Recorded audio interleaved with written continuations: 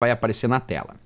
No Windows 10, em sua configuração original, a ferramenta de captura permite capturar. Letra A, a senha do usuário que está acessando o computador. Letra B, os sons emitidos no computador.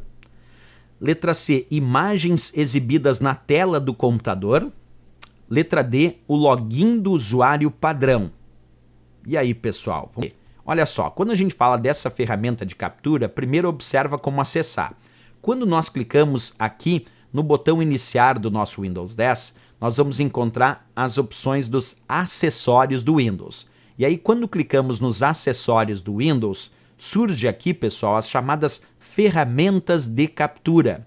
E aí, quando nós clicamos na ferramenta de captura, e é o que eu vou fazer agora, abre-se a ferramenta e ele mesmo diz que eu posso clicar no botão novo para fazer uma nova captura. E ele ainda diz: arraste o cursor ao redor da área que você deseja capturar. capturar. E aí eu clico aqui no botão novo Escolho também o tipo de captura, se vai ser um recorte em formato livre, se vai ser uma captura retangular, uma captura com a janela, se vai ser o recorte de toda a tela cheia, como se fosse, por exemplo, o print screen.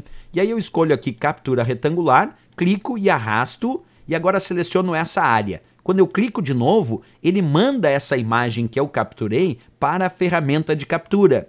E agora eu posso, inclusive, colar essa imagem em qualquer programa de edição, como o Word, o PowerPoint, entre outros. E ainda posso, se desejar, clicar aqui no disquetezinho para salvar, pessoal. E aí, quando eu clico no disquetezinho para salvar, aparece ali, ó, arquivo JPG, quer dizer, eu posso salvar essa captura como um arquivo de imagem com a extensão JPG. Isso faz com que depois eu possa pegar essa captura na forma de um arquivo de imagem e usar em qualquer programa de edição que aceite, claro, arquivos de imagem. Por isso que a resposta aqui dessa questão, sem dúvida nenhuma, como a maioria de fato respondeu, a nossa letra C de Canadá, tranquila, a ferramenta de captura aí do Windows 10.